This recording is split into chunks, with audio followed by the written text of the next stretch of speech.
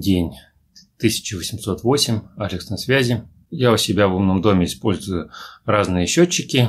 А, они, конечно, построены по разным принципам, но у них задача одна у всех простая. Это вести некоторый мониторинг там, и собирать статистику по использованию разных ресурсов. Ну и упрощает доступ для того, чтобы эти значения считывать, ну и отправлять там соответствующие приложения или разные службы передавать. А, это, конечно, там гораздо проще становится. Понятно, что, например, а, у меня а, там показания электроэнергии, они в основном собираются автоматически, не надо никуда ничего подавать. Это, конечно, большой плюс. И там неважно, там двухтарифный, трехтарифный, однотарифный счетчик, все значения собирает, ну, остается только там оплачивать и все. Но для себя, конечно, все-таки хочется понимать, э, какой расход идет. А, если там, например, какое-то устройство подключено, в принципе, хотелось бы сразу понять, а, сколько у него потребления. Ну, понятно, что можно использовать там умные розетки, например, и это устройство там воткнуть в умную розетку, посмотреть э, а, там, через э, там, инструмент мониторинга, сколько там потребления в первых ваттах, и там за какой-то период накопительно, если они позволяют, тоже можно там посмотреть, сколько было потрачено. Например, я так делал когда использовал там обогреватель, э, ну, точнее, из последних там экспериментов я подключал э, бойлер для нагрева воды, когда ее отключали. Ну, и было интересно, сколько все-таки мы за все время потратили энергии на использование такого бойлера. Э, ну, в общем-то, видно было, сколько там он работал времени и в какие периоды он больше всего там потреблял энергию на нагрев. То есть, конечно, там бегать к счетчику, установленному, допустим, в коридоре или там на площадке не очень удобно для того, чтобы посмотреть значения. То есть так, конечно, проще.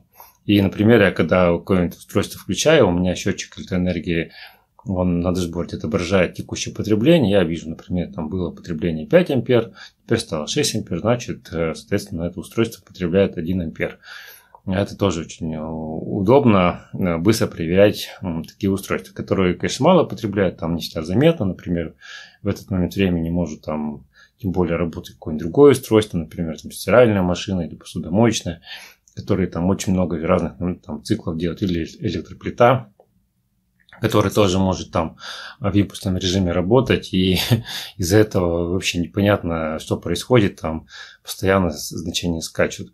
Э, но в целом, э, если они отключены, то вполне можно успеть э, посмотреть, например, какое потребление там какая-нибудь там какой-нибудь обогреватель дает или там утюг или чайник или что, что угодно. То есть, в принципе, это тоже удобно. Ну и в целом я сделал такой алгоритм, что он просто берет текущее потребление и на период изменения умножает и записывает, сколько было потреблено электроэнергии за это время, там, за минуту, за секунду, то есть в зависимости от скорости изменений.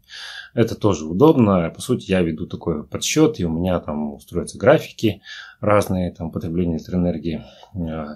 А, ну, в целом даже удобно, когда я удаленно могу посмотреть, э, не забыл ли я что-то выключить именно по потреблению. Понятно, что там холодильник, он всегда работает, но я уже знаю уровень потребления холодильника, сколько он там ватт потребляет. И если э, все остальное выключено, то там практически потребление там равно нулю. И если вдруг я вижу, что потребление не равно нулю и что-то не так, ну, я просто могу зайти там в другое представление и посмотреть, может где-то свет включен или вентилятор включился, например, в ванной случайно там и начал вентилировать, а у него потребление 100 ватт, и за там некоторое время он, во-первых, может э, очень много электроэнергии потратить, например, за неделю непрерывной работы, но и еще может оказаться, что он сам может сломаться и там еще и пожар устроить. То есть, конечно, это тоже неплохо следить. Ну и, например, там потребление утюга или еще что-то тоже можно легко и быстро проверить. Например, если выходишь из квартиры, то всегда можно там автоматический сценарий сделать, который будет проверять, если потребление большое, то либо какой-нибудь информер подсвечивать там, либо свет как-то будет там специфически моргать, а, либо просто там колонка умная оповещением скажет, что большое потребление в квартире, там необходимо проверить там устройства разные.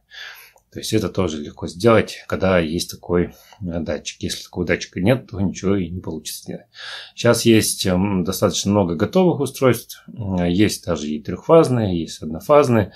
Э, ну, именно они могут просто показывать текущее потребление, как-то считать. Там многотарифных таких я не встречал. То есть, чтобы там в нем была возможность настроить разные тарифы на потребление. Это все-таки можно уже сделать либо в системе умного дома, как-то там очень хитро это обрабатывать, сделать алгоритм. И если это самодельный счетчик, то в нем можно все что угодно сделать. А, принцип работы у них почти одинаковый, то есть есть э, несколько вариантов, есть инвазивные, которые а, в разрыв цепи подключаются, это, конечно, плохая история, потому что, во-первых, китайские устройства, и неизвестно, что они рассчитаны в реальности, вне зависимости от того, что на них написано.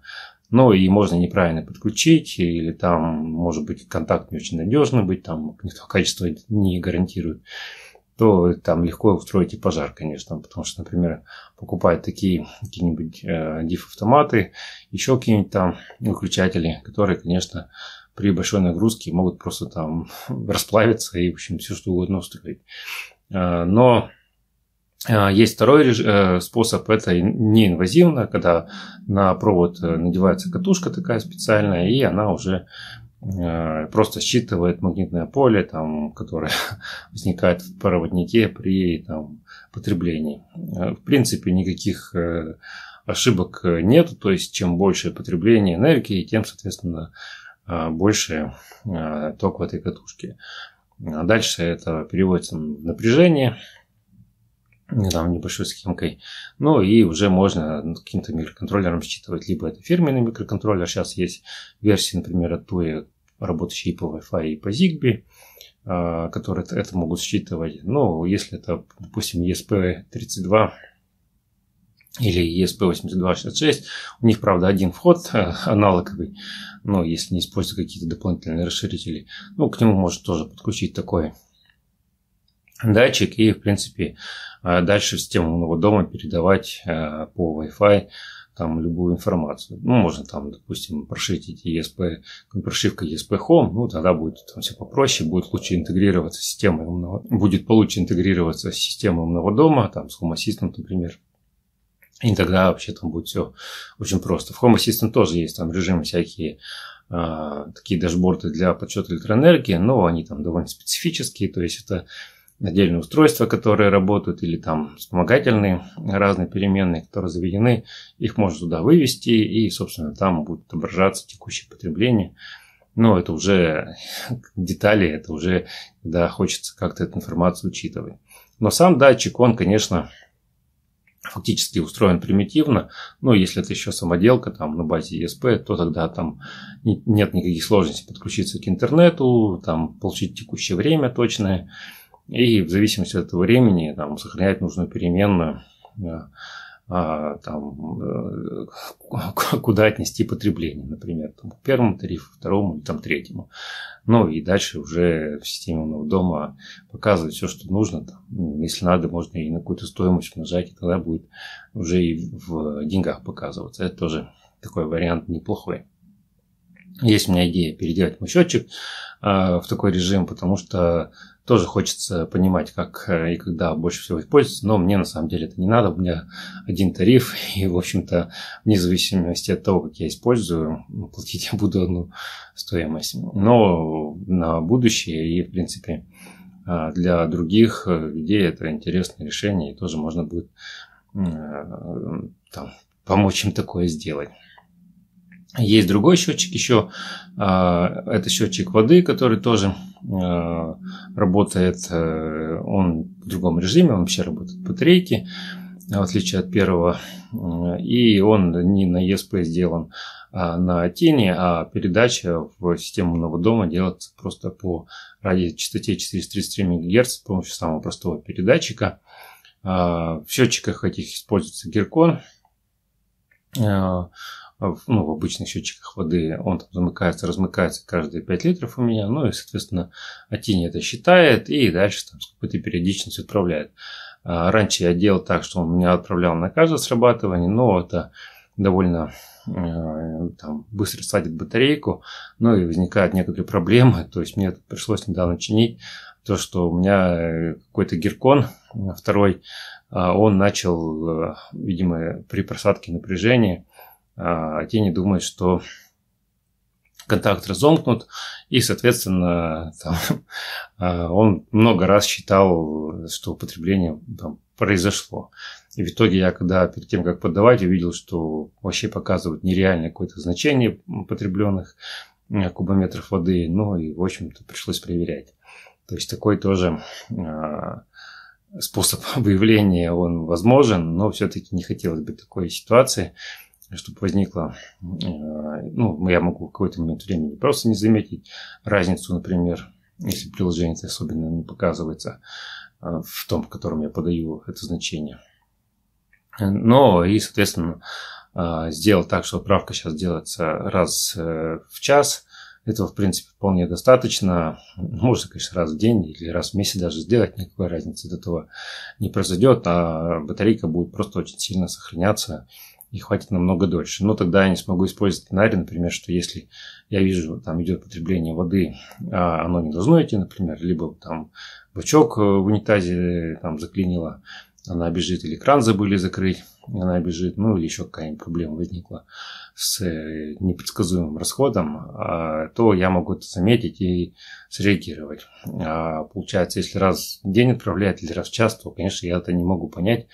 Это не очень удобно. Ну, в общем, таким образом я этот счетчик слегка модифицировал, э, и он, конечно, сейчас работает в другом режиме.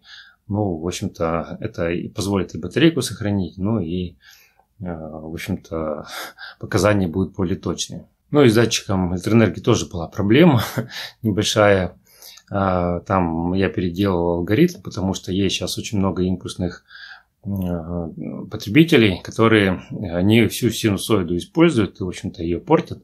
А этот сам датчик, он довольно быстрый, то есть там каждая э, волна, она полностью э, видна, то есть 50 Гц он видит полностью все там полуволны электрические.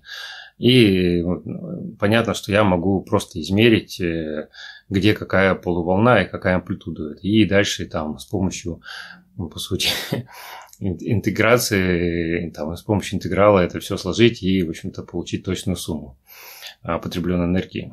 Это, конечно, большой плюс.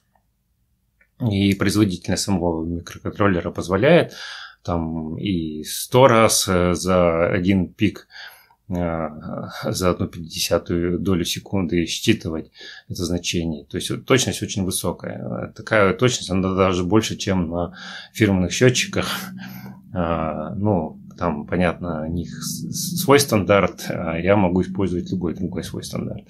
И тогда я вижу, что, допустим, если какое-то время, допустим, а, там, половину э, этой волны там, потребления не было, потом оно резко возникло, допустим, за счет какого-то импульсного потребителя, например, если это используется какой-нибудь нагревательный элемент такого, в таком режиме, он, конечно, будет работать сам без проблем, но вот для а, там все сети и конкретно для счетчика это проблема была. Раньше я просто усреднял, брал максимальную амплитуду и нажал там на соответствующий коэффициент. Но это давало большое э, там расхождение в цифрах, и мне пришлось переделать алгоритм, и он теперь у меня 100 э, раз в секунду, вернее, 100 раз в одну пятьдесятую секунду считывает, и точность очень высокая подсчета там, расхода электроэнергии. Но возникла сложность, поскольку есть все-таки ограничения на работу э, там, с вещественными числами в микроконтроллере, и э, там, если потребление меньше 1 ампера получалось, то он за счет округлений вообще считал, что ну, по сути один и все, то есть 1 ампер ниже не показывал. Дальше либо 0, либо, э, если, допустим, 1 и 1, там полтора ампера, он все нормально показывает. А между нолем и единицей а, было такое резкое переключение. Это неудобно. Не знаю, как это отражалось на именно подсчет а, потребленной энергии, но пришлось тоже переделать алгоритм, там немножко вынести в формуле значения, чтобы они сразу не сильно там делились. И в итоге счетчик сейчас работает более корректно и дает правильное значение потребленной энергии в умном доме.